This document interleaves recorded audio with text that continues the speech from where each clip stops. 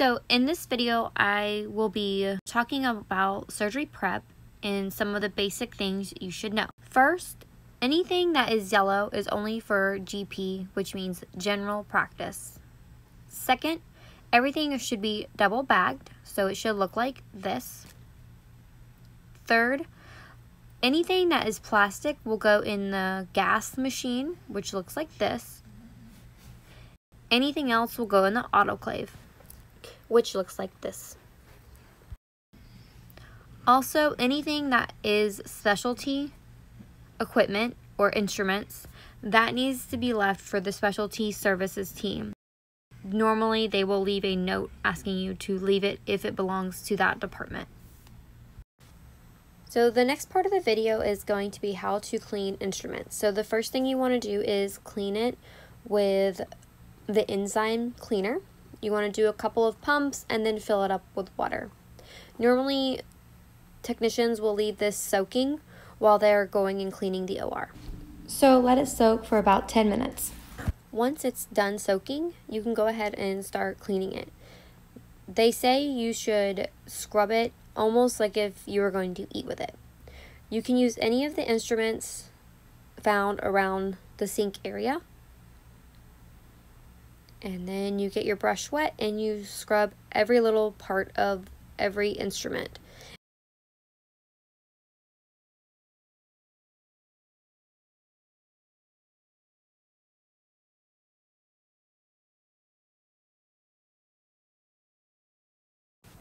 Once you have scrubbed every inch of the instrument, you can go ahead and rinse it with water. And then you'll want to put it into the ultrasonic cleanser and set the timer for 10 minutes. Once the 10 minutes is up, if you happen to be by, you can go ahead and rinse them off and then set them to dry. And that is how you clean and disinfect instruments. I forgot to mention we also have this chemical. A lot of people refer to it as milk it's almost like a lubricant, so you will want to spray it anywhere where instruments tie together, like shown in this video, or on scissors and such things.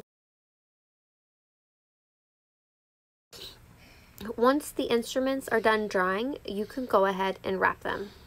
So you want to choose whichever package best fits the instrument. And again, you want to double wrap them. So whenever you're wrapping instrument, don't want to twist the pieces together like that and wrap them. That is incorrect. You want to make sure you take the pieces apart before placing them in the autoclave. Once the instruments are double wrapped, you want to go ahead and seal it and then place your initials on the white part and date it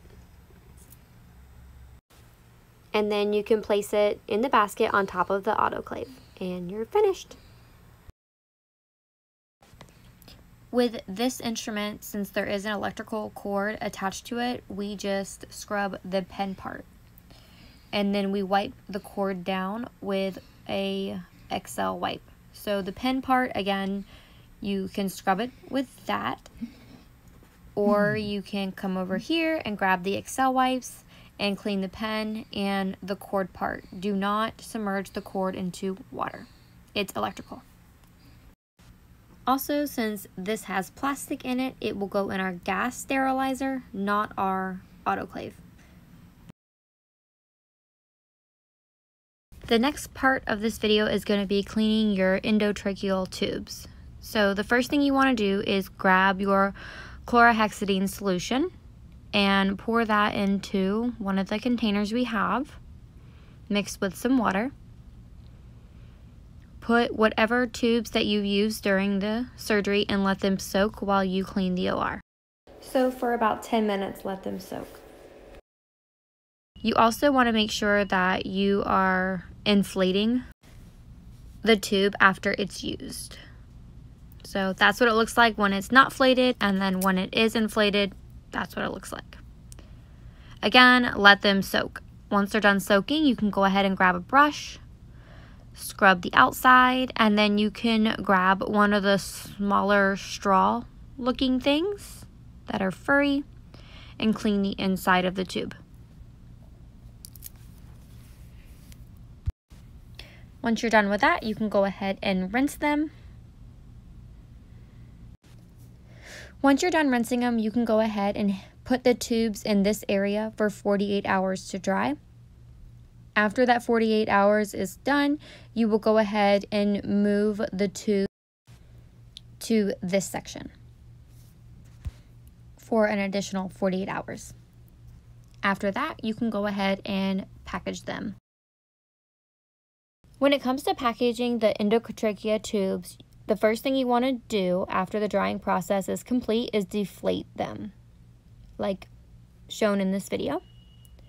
And then you can go ahead and pick out your proper bag that you need to bag them. The other important thing to keep in mind is when you're bagging them, they do not need to be double bagged like every other instrument does. For the endotrachea tubes, you just have to bag them once. And after it's sealed, you go ahead and you want to date it and put your initials on it. And also keep in mind, since this is plastic, you want to put it in the gas sterilizer. And don't forget to add your piece of tape onto the packaging as well.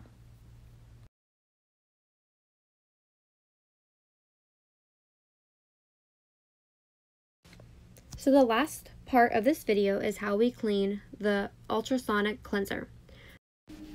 So the first thing that you'll see is that it's filled up with blue water.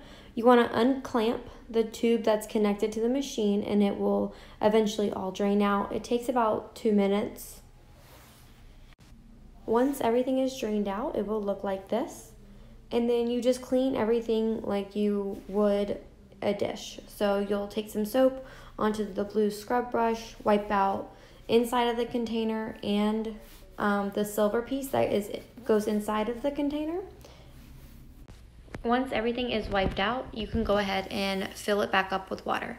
So the next step would be grabbing a tabs that are located on the right side of the sink in surgery prep.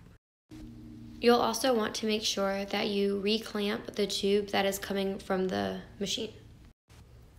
Then you're going to go ahead and take this piece out of the machine and place your tab on the very bottom and you want to go ahead and start filling it up with water. Once the machine is about halfway full with water, you can go ahead and place that part back in the machine with the lid and you are finished. If you guys have any questions or concerns regarding anything to do with surgery prep, please don't hesitate to ask.